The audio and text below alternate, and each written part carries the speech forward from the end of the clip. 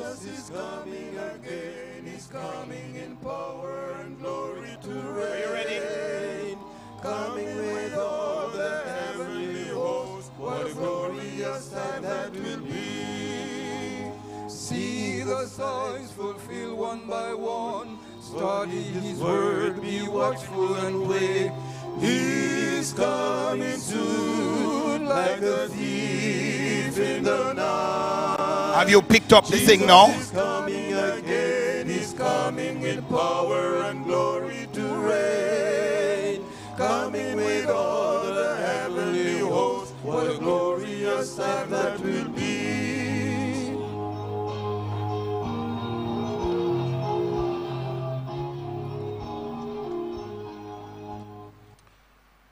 Let me say a pleasant Sabbath to everyone, especially those joining us on the various uh, virtual social media platforms. Welcome to another Bible class. We continue on the topic biblical and theological foundations of family life. Last week I did promise that before I am through with my three sessions, the three Sabbaths, I would invite my wife. And so, welcome Dan to this another Bible class time as we focus on family life. And so, at this time, we will lift our hearts to God for Him to guide us as we go into this Bible class. Let's pray. Holy Father, we are happy to be in your presence again, to open your words. Bless it, O God, and may it find a place in our hearts so we can truly reflect you to the world, the person and family you'd have us to be. In Jesus' name we pray. Amen. Amen. Amen. So we continue with the topic biblical and theological foundations of family life. And so we're looking as we move forward toward a theology of family. Several major assumptions drawn from biblical study and theological reflection undergird Christian family relationships. So we need to understand that there are certain basic assumptions, and we're going to be sharing some of these assumptions that uh, we hold when we think of Christian family relationships. So, God is a relational being. Very important to note that. God is a relational being who has made human beings for relationships. I want Sister Fletcher to read from it Genesis chapter 1. That's Genesis 1 26 through to 28. You will notice that there are some other passages, but we will not be able to read everything. But verses 26 to 28 is a starter for us this afternoon. Okay. Genesis chapter 1, verses 26 to 28. And you can follow with us as I read. Then God said, Let us make man in our image, according to our likeness. Let them have dominion over the fish of the sea, over the birds of the air, and over the cattle, over all the earth, and over every creeping thing that creeps on the earth. So God created man in his own image. In the image of God, he created him. Male and female, he created them. Notice, he created male and female in his image and in his likeness. Yes? Then God blessed them. And God said to them, The first commandment he gave to Adam and Eve is a blessing to be fruitful and multiply. so God told them in his first commandment, go and have sex. That's wow. Be fruitful. Go and have a sexual relationship. And be fruitful and multiply and replenish the earth. Continue. And subdue it. Yes. Have dominion over the fish of the sea, over the birds of the air, and over every living thing that moves on the earth. So God often reveals himself to us in family terms. From him, we learn of marriage. Yes.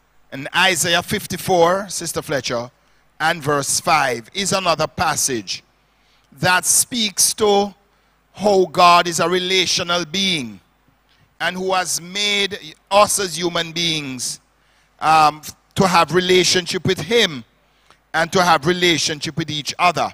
And so from him we learn of marriage, Isaiah 54 and verse 5. And it reads, For your maker is your husband. Wow, you see the kind of um, relational language that is used. That's right.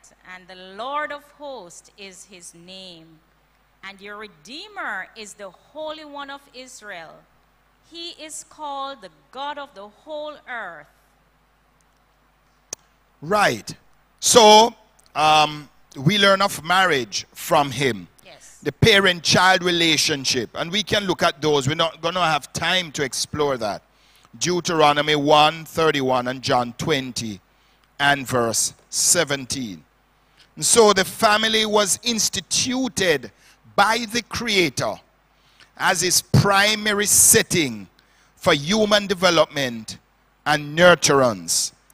And since family is the primary place where the capacity for love and intimacy with God and other human beings is developed, and it is where spiritual values are transmitted too across generations. It is central to the disciple making process. So when God made man, he made him in the context of family. That's He didn't make him in isolation.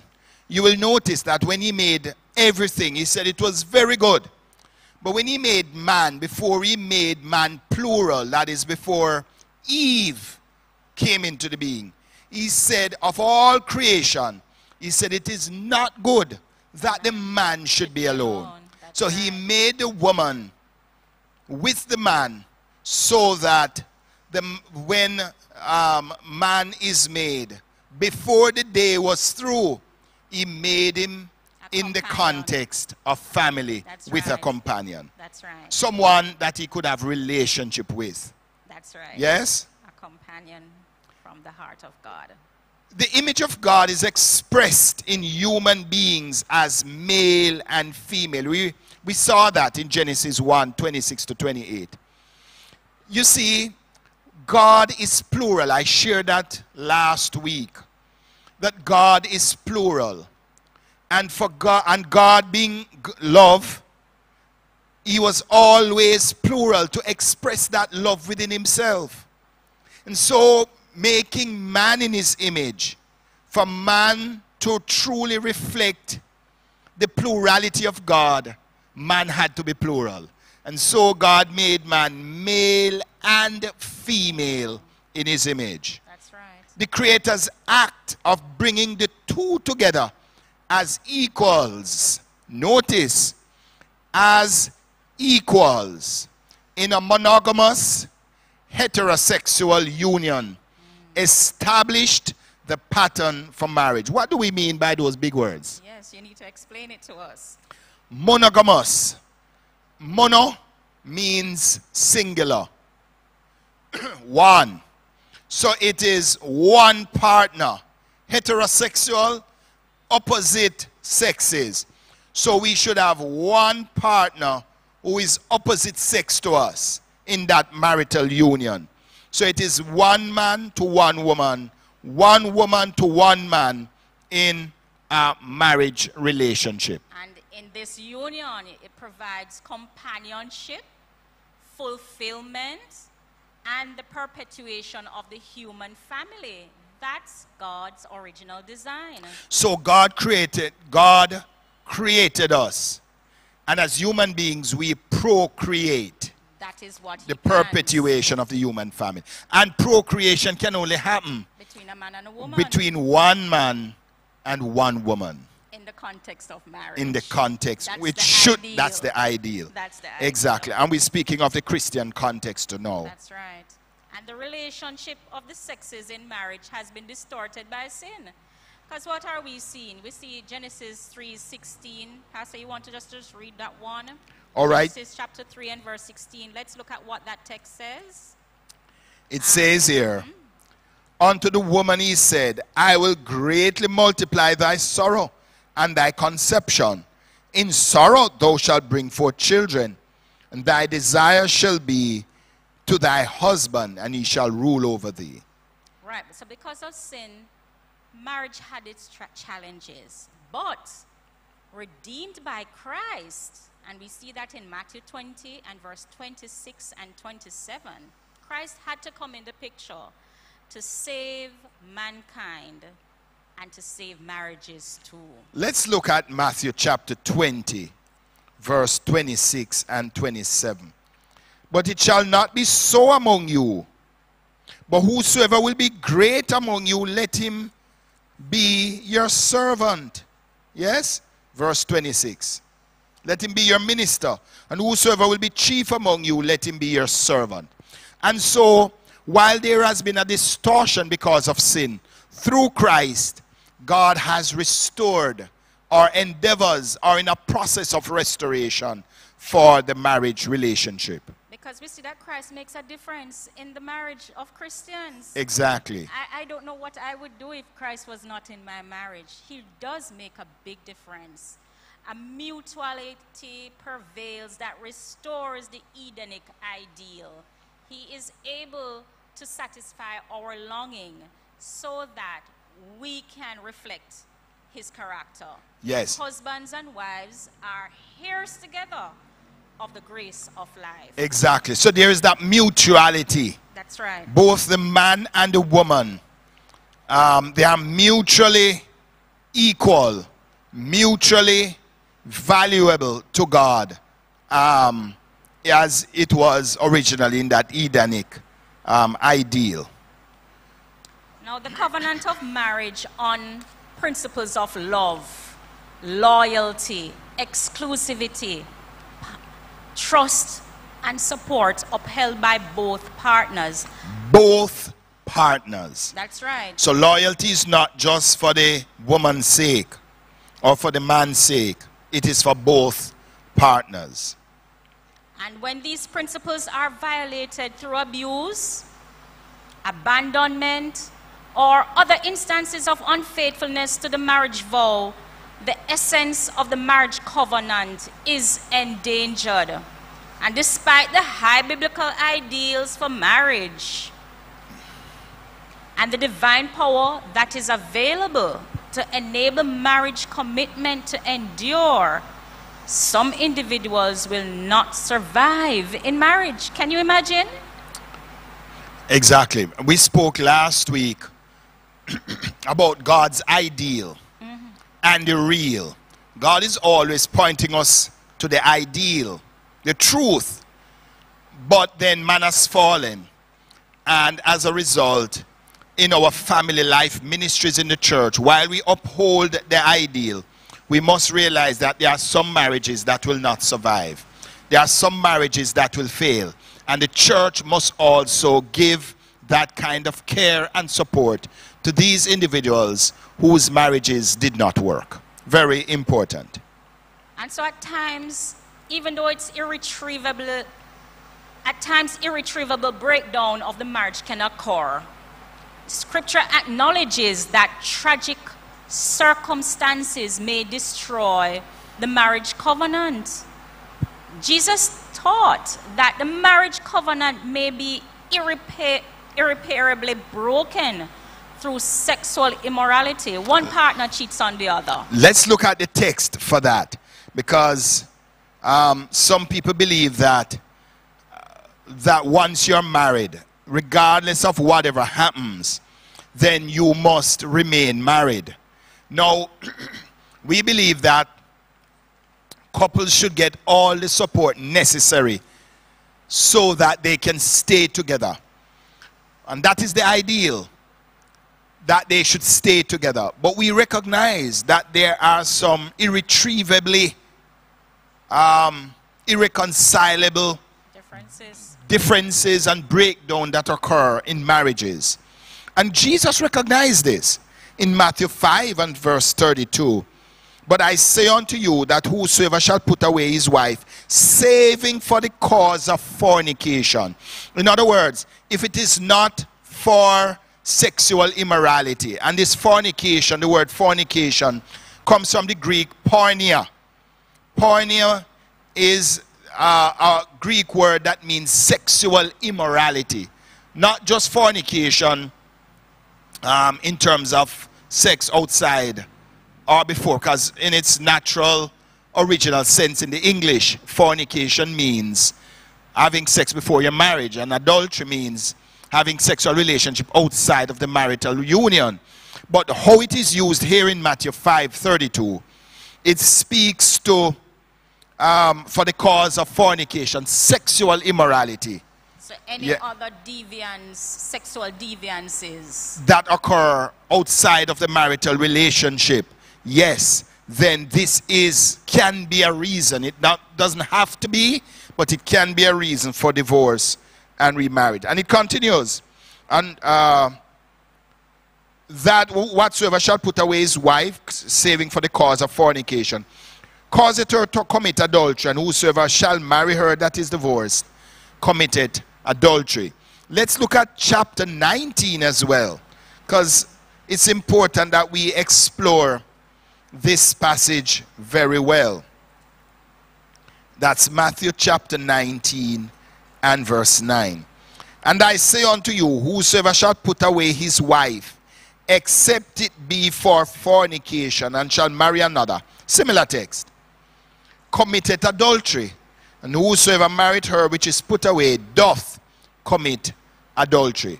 And so it is clear that the only biblical cause, as it is expressed here in the book of Matthew, Sister Fletcher, is sexual immorality.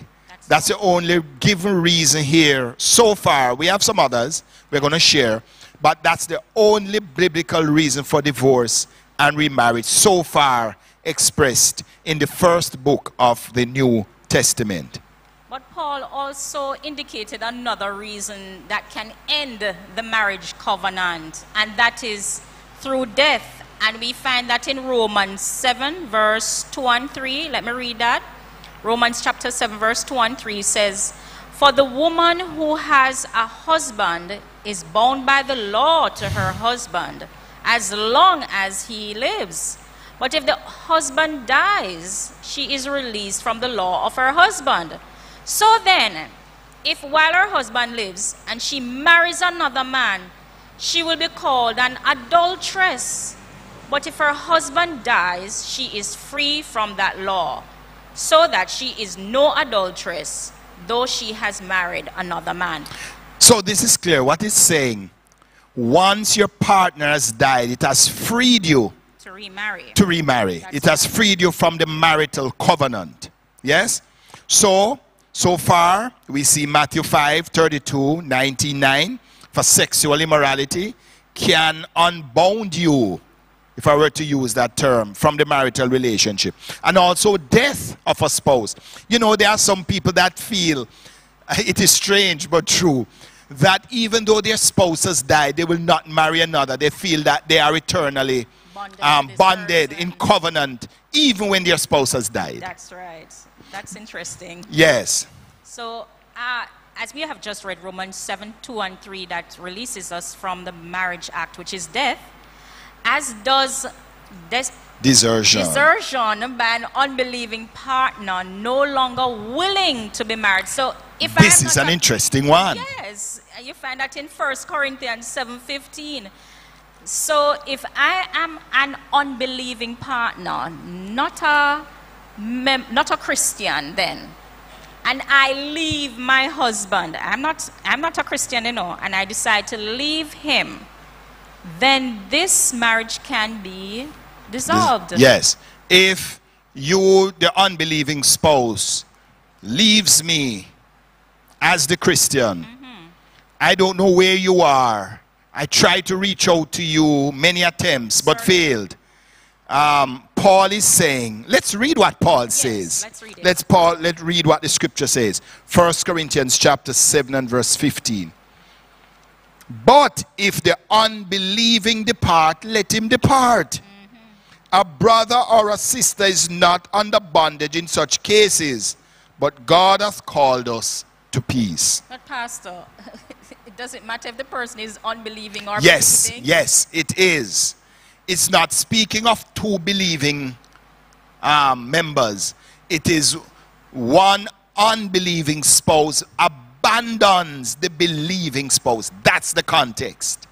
And as the Bible gives it, gives it to us, that's how we relate to it. So if I'm a believing spouse and I abandon the marriage, and no matter what you do to re- to uh, reach out and reconcile, That's a different case. That's a different context. Different context. But this is what Paul is speaking about the unbelieving spouse abandoning the believing spouse. All right. Very important in that regard.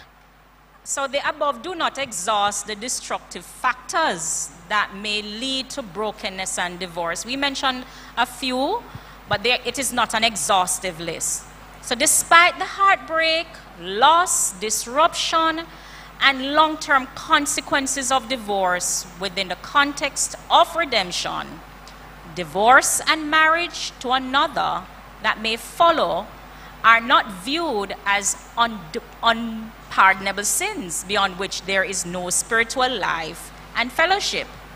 So, through repentance, confession, and the appropriate bearing of responsibility, grace can bring assurance of pardon, healing, and new beginnings. Pastor, So, break so what this is saying is that there might be some members who were divorced and remarried outside of the biblical reasons as given. Remember, sexual immorality, the death of a spouse, or an unbelieving spouse abandoning the believing spouse. But we unfortunately we see there are some members who divorce and remarried outside of these biblical reasons. Right. What we are saying here is that yes, they would have gone against God's biblical um, Outlines. outlines, Yes. God biblical principles. Yes. But it doesn't mean that they can't be redeemed. They have not committed the unpardonable sin. They can, through repentance, confession, and the appropriate bearing of responsibility, grace can bring assurance of pardon, healing, and new beginning. Let's read 1 John 1 9. We know it very well. 1 John 1 and Mm, verse, Verse 9. I have it If, yes, go ahead. If we confess our sins, Yes. He is faithful and Yeah. just to forgive us of our sins and to cleanse us from all unrighteousness. That's it. So, Mm-hmm. That's it.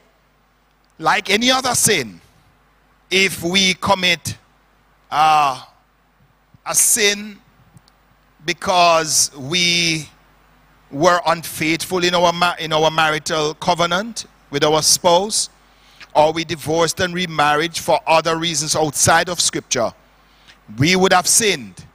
But where sin abounds, Grace much more. grace abounds. much more abound. And so while marriage is part of God's original plan, singleness within the divine design is part of God's plan too. Exactly. So not because um, God put man in the context of marriage and the family when he made him, but singleness is valuable too. That's right. And it may be in the best interest of certain individual Christians to live singly. It's not everybody can get married, you know. It's not everybody can live with certain personalities. Paul speaks to this That's in right. 1 Corinthians 7 and verse 7. And what does it say? For I would that all men were even as I myself. And Paul was single when he wrote this. But every man hath his proper gift of God, one after this manner, and another after that. So we see that God's special acceptance and protection are over those who by choice or circumstances face life alone. God has a plan for the, these special persons who choose to live alone. Indeed, Jesus was a single person. That's right. Yes. And many of the disciples Exactly, were single, especially the women. And friendship is a source of intimacy and of experiencing family. Good friends. When you have good friends can talk with, can see you through life challenges. These are sources of strength to single person. Exactly. They say, it is said that good friend is better than pocket money. Exactly. That's right. The fellowship of the church, the household of God, is available to all, regardless of their married state. So people who are single must not feel left out.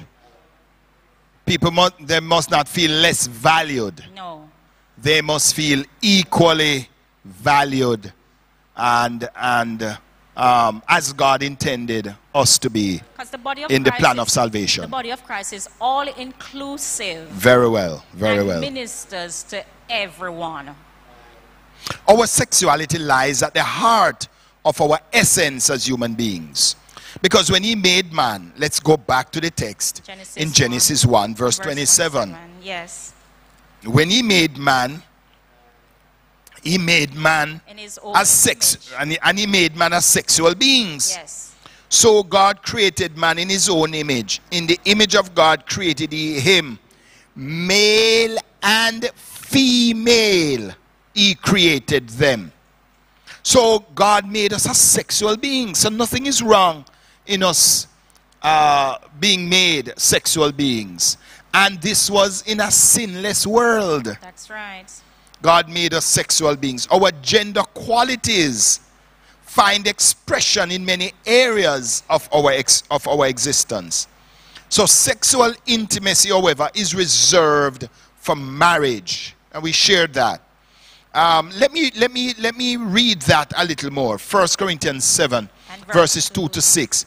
That sexual intimacy is reserved for marriage. Very important. Thank you. Nevertheless, because of sexual immorality, that's First Corinthians 7 and verse 2. Yes? Yes, because of sexual immorality, let each man have his own wife, and let each woman have her own husband.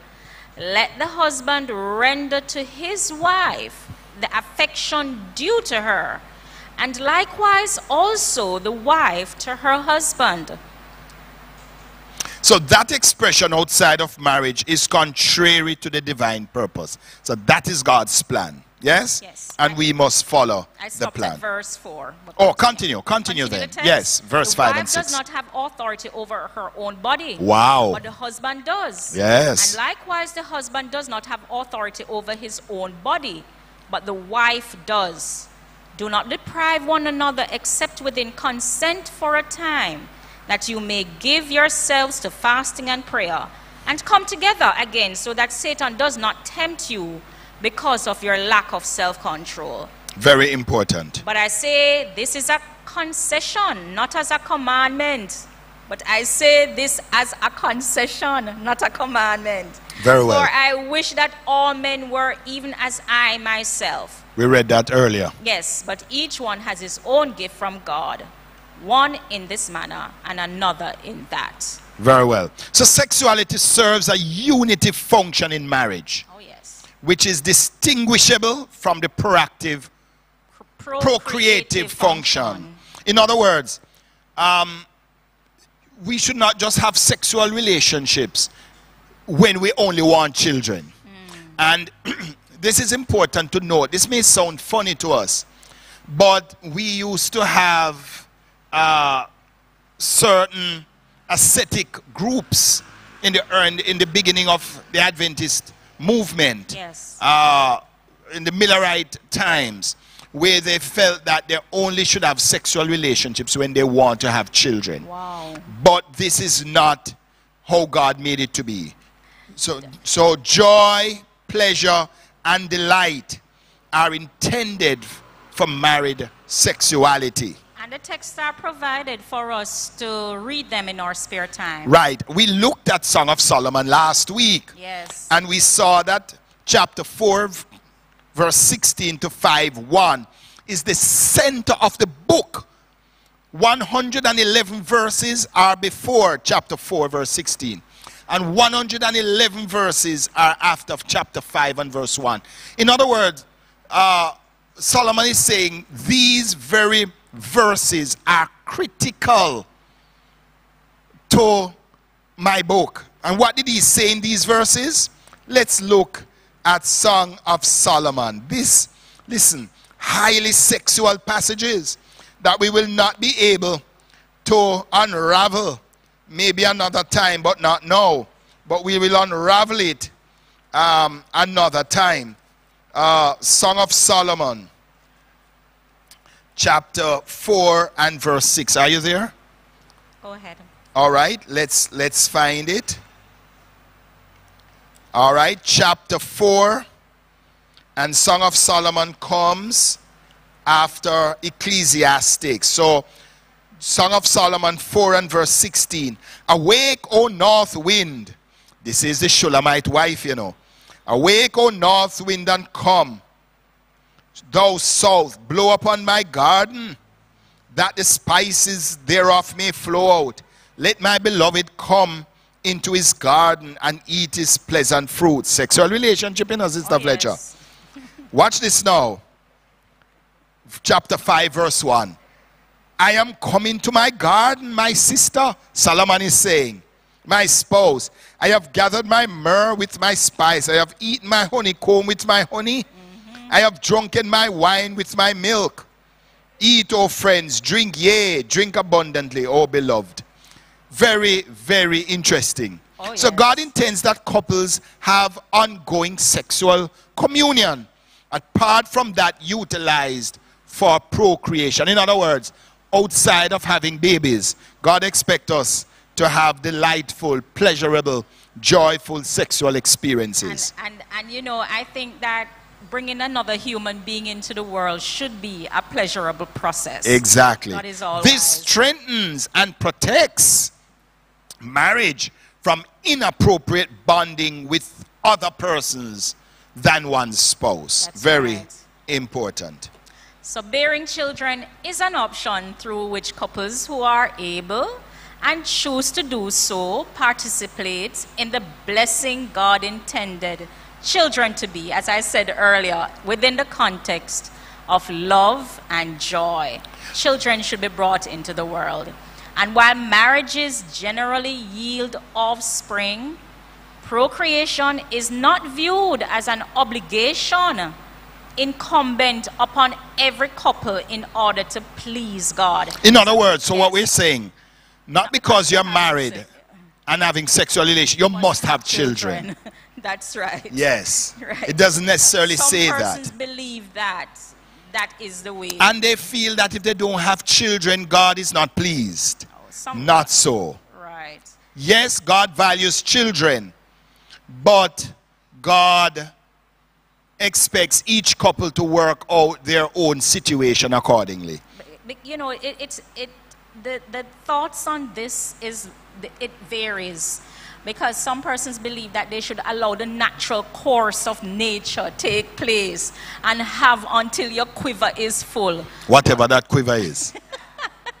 and whoever quiver that's right So My quiver only has only two. ours have two pastor so children help parents understand about loving and trusting god it, it, it you understand god as a parent when you become a parent Exactly. you exactly. see what he goes through and you understand what how much god loves us as a father But at the same time, what we are saying, this is not an obligation on any couple to have children. that's right Very It well. They encourage the development of sympathy, caring, humility, and unselfishness in families.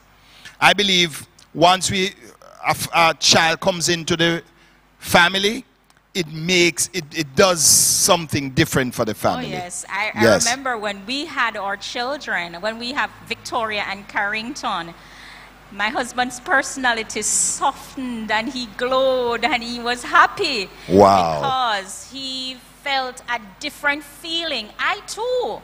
It's a different kind of emotion that comes upon us when we bear children. And some persons, even when they adopt, or take another child into the family, they experience the same measure of, Of love, love. and compassion. Very well. Parents are to provide, reach, and correct their children so they may be so they may come to know God, choose biblical values, and be prepared for responsible interdependence with others. So God's covenant of love with his people is the basic principle which undergirds and serves as an illustration for Christian family life. God has set the example. That's all we're saying. And in God's covenant, we experience love, forgiveness, commitment, acceptance, intimacy, and even sacrifice that our deepest needs might be met. And as we experience the gospel and seek to reflect it in our families, our relationships with each other are fashioned after the likeness of the divine relationship with humanity. So here, God is just teaching us practical lessons in our family setting on how we can be His children. That's just it, you know. Practical lessons among us so we can be His child. Exactly. Christian family members are called to love, to serve one another, and to forgive, just as He loves, serves, and forgives us. Strength and grace from God are, are promised to accomplish that to which God calls us. Yes. And we have those passages. We don't have the time to read them, but you, you uh, out there in the Online, you can write various social down. media platforms can make note of it. That's right. Now, broken relationships with God and with fellow human beings are the tragic outcome of the fall. And you know the story with Satan in the mix just makes things bad. Jesus' mission, though, is restored through agape love relationships. And I have to smile because I thank God for his intervention in our lives. And you see the Bible passages that are provided um, there. Now, his church is an extension of his working in maintaining strong relationships and restoring those who have been damaged. As part of its mission, the church seeks to be an active agent in building, maintaining agape love relationships, and in healing and restoring relationships that have been broken. So we know undoubtedly that there are many families that are broken, many marriages that are broken down irreparably. That's right. But the church should be here as an agent of Christ to bring agape love, to extend care and forgiveness and healing and restoration to these families and to these And marriages. you know, Pastor, these are lessons that we have to exhibit in our home circle. And as we learn to love each other, and the more sometimes we hurt each other, we have to forgive. Exactly. And it is these lessons that we participate in in the home circle, we bring it to the church family. And we extend the same love and forgiveness to each member because we're not perfect. And we all need, the, need Christ's power to help us to bear and to share that kind of love in the church family. So in family life, there are some pillars. Yes. We will give about two today and we'll give the rest next week when we close off on this topic.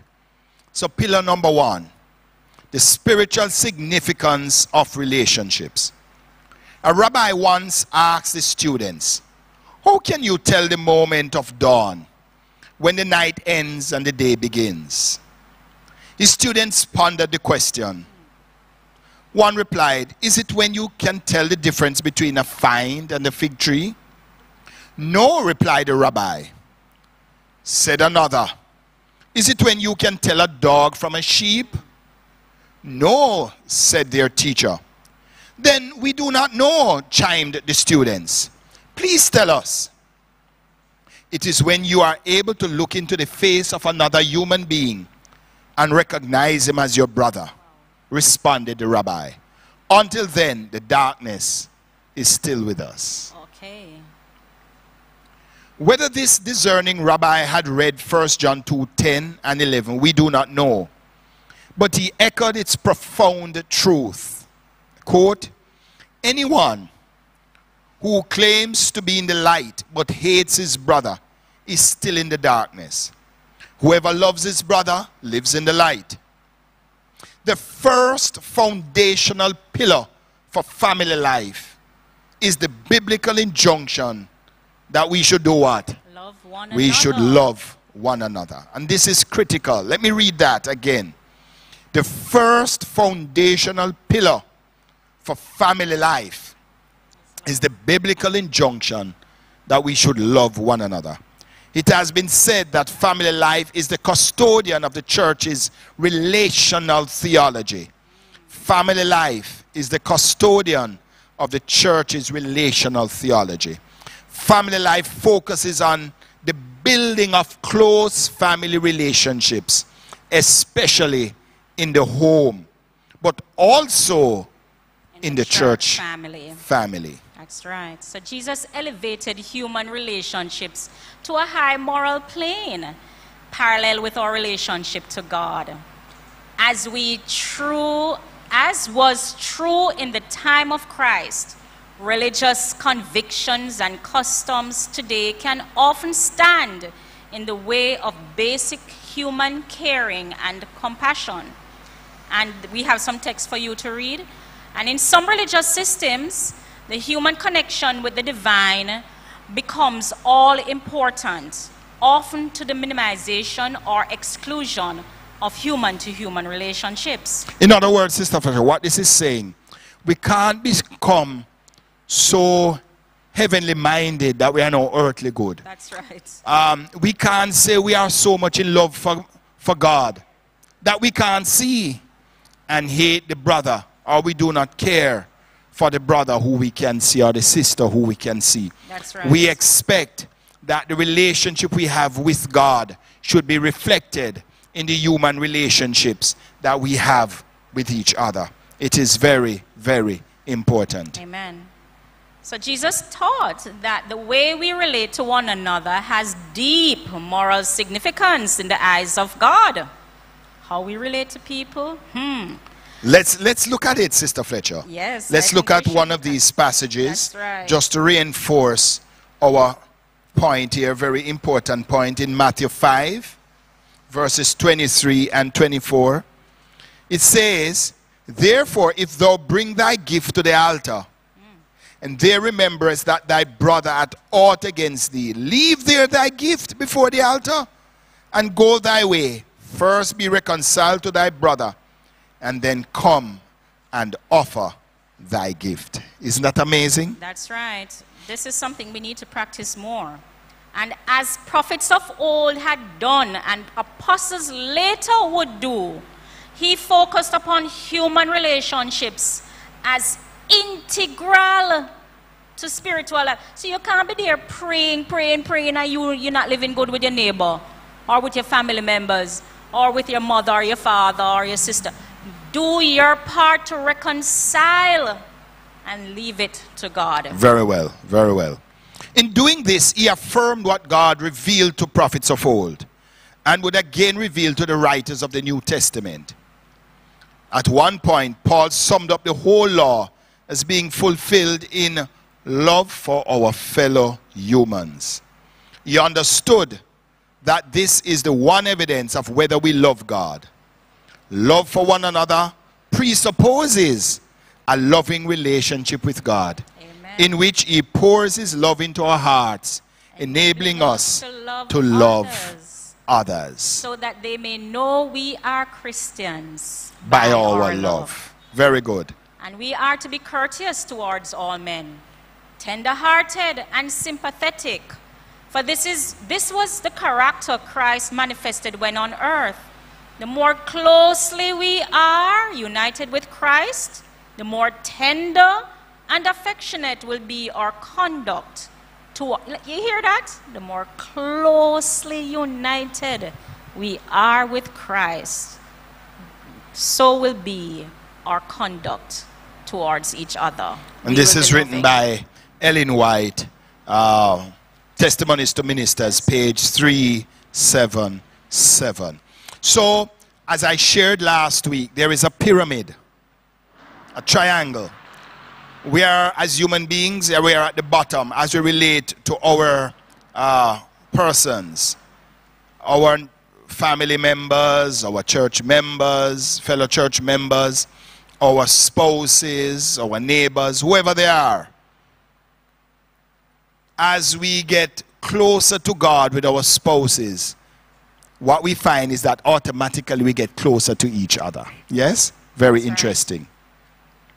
So Jesus affirmed the family as Reaffirmed, I should say, the family as an institution.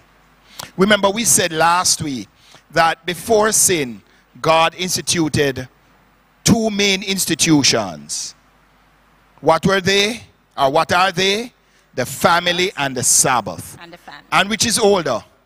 The family. The family is The older. fam if it's even a few hours. That's right. The family is older. So marriage and family are primary structures for human relationships which were instituted in Eden for the benefit of humanity. Jesus, by his reference to families and family members, reaffirmed the institution of the family.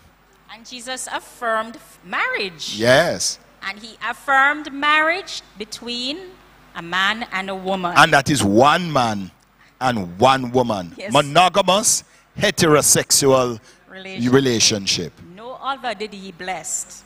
So when discussing marriage, Jesus affirmed God's plan by pointing his hearers back to the creation of his institution. That was the creation motif and for family. God's commandments regarding it. And you can read all those passages of scripture.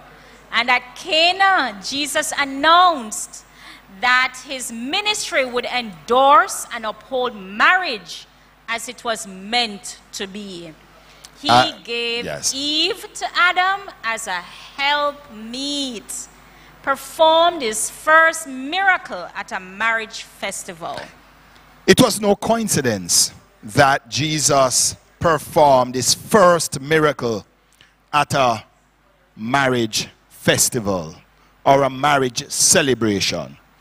He was saying, Listen, I was the one who made the marriage relationship. That's right. And here it is. I have reaffirmed and give my blessing on this marital relationship.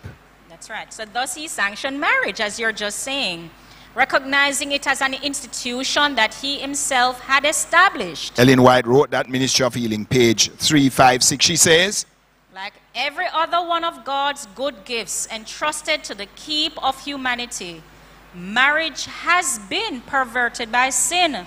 But it is the purpose of the gospel to restore its purity and beauty.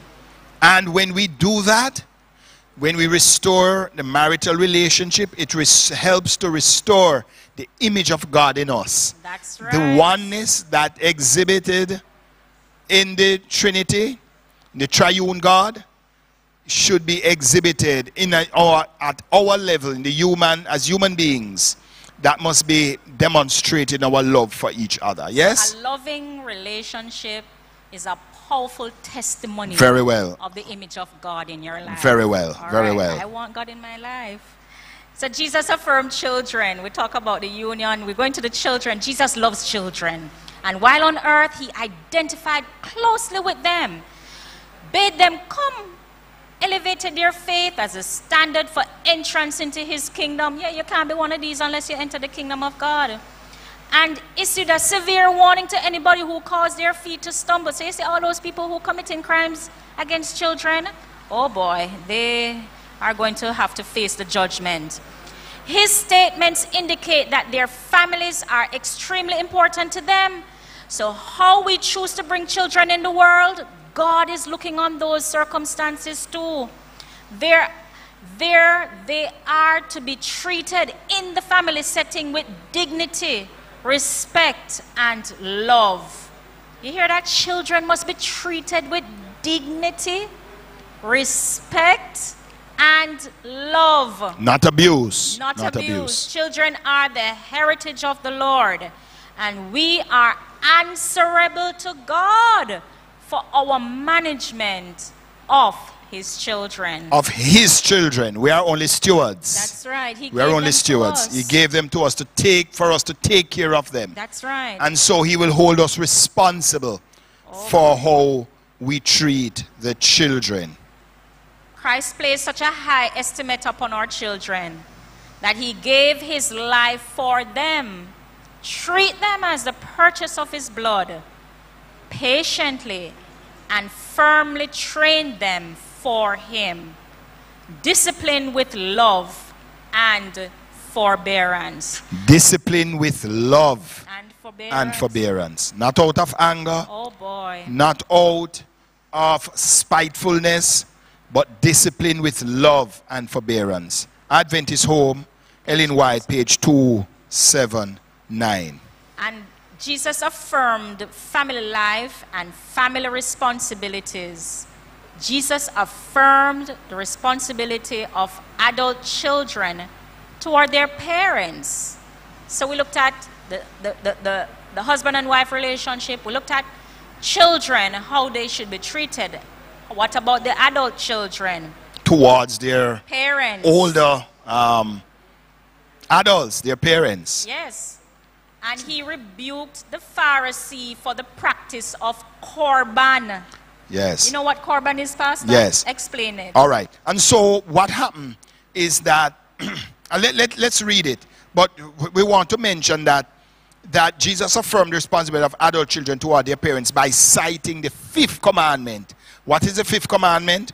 Honor thy father, Father. and thy mother, That thy days that their days. long. The only commandment with a promise. Yes. Yes? so he cited the fifth commandment as he rebuked the Pharisees for the practice of korban. An offering, this is it, Yes. which enabled adult children to skirt their appropriate financial duty toward parents. Touched by the death of the widow's son and recognizing that she would be all alone in the world with no male family member to care for her in her old age, Jesus showed compassion on her by raising her son from the dead. So, what Jesus is saying, listen, you have a responsibility, adult children, to your parents when they cannot sustain themselves.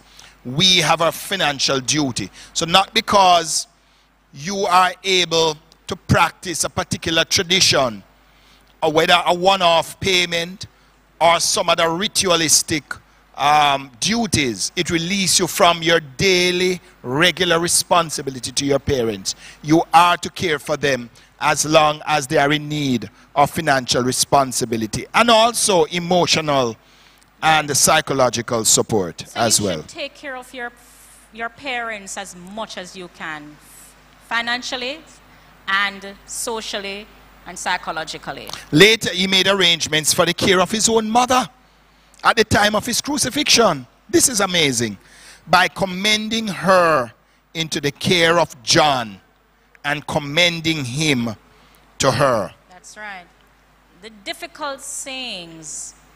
It should be noted that there are several references by Jesus to family relationships which have been called difficult sayings. Let's look at some. Some verses seem to imply that Jesus cared little for the relations of kinship of his own family or the families of others. You gonna read more? Yes, let's look at Mark 3 33 to 35. And he answered them, saying, Who is my mother? Or my brethren? And he looked around about on them which sat about him and said, Behold, my mother and my brethren. For whosoever shall do the will of God, the same is my brother and my sister and my mother. So, what he was saying, listen, you know who is my mother? You know who is my brethren? Those who do the will of God. As if he was renouncing or not giving much due respect to his family. Mm. And these are called difficult sayings. Mm-hmm. Some verses seem to imply that Jesus cared very little for the relations of kinship of his own family Right. or the families of others. David Garland discusses each of the difficult sayings of Jesus regarding the family and concludes that Jesus did not hold a view of family that was subversive Or did he see the family as a petty concern or an, or an impediment to commitment to God? Far from undercutting the valuable nurture, support, and strength to be gained from membership in families, Jesus addressed the exclusive attitudes of those who trusted implicitly in biological kinship. So Jesus is saying, listen, um, there is a responsibility, yes, as family members towards each other. But this must not supersede our responsibility to God right. and to our and to what He has called us to do.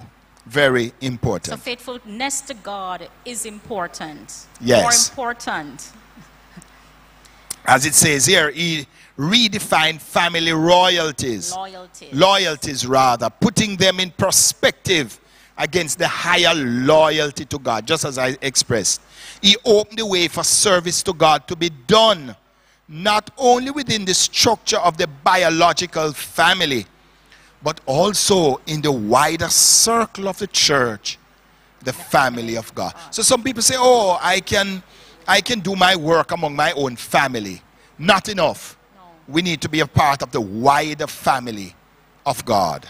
Right. The family of the church. And so um, we pause here today as we move to next week when we will continue the third and final segment. But before we close, Sister Fletcher, is there any comment from the on the social media platform or any questions, any comments, any questions um, before we close?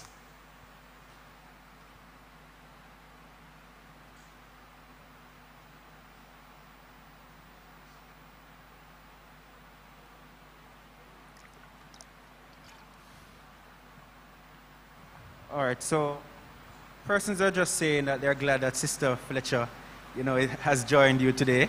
Oh, shit, they love that Sister Fletcher has joined me. Yeah. Somebody else says, uh, very interesting for sure. Oh, so that's Elder Oliver who said that um, he's glad that Sister um, Fletcher has joined you. Anne Marie Carnegie says, very interesting for sure. Brother Randy Lawrence says, we need to learn to forgive more. Yeah, so those are some comments. Very well. We, we appreciate those comments. Thank you. And we thank you for um, joining us today. And we hope you will continue to join us as we conclude the biblical and theological foundations of family life next Sabbath. So, Sister Fletcher, they enjoyed you coming today. My pleasure. My All right, so we're going to ask you to close for us in prayer as we bring our Bible class to close. Let us pray. Father, we thank you so much for your words, the foundation of our faith. We thank you for having a keen interest in our families. Lord, you created us and you want us to exhibit your image. So we ask that your Holy Spirit will attend unto each family in our church and in our country and in the world. We ask that your Spirit will manifest in a remarkable way that will bring fathers, mothers, and children united in love so that we can all be ready to meet you when you come as a family. In Jesus' name I pray. Amen. Amen. Amen. Thank you very much again for joining us. Looking forward to see you next Sabbath.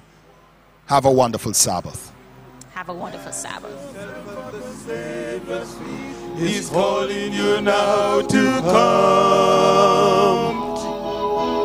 Jesus is coming again. He's coming in power and glory to reign. Coming with all the heavenly hosts. What a glorious time that will be. What a glorious time that will be.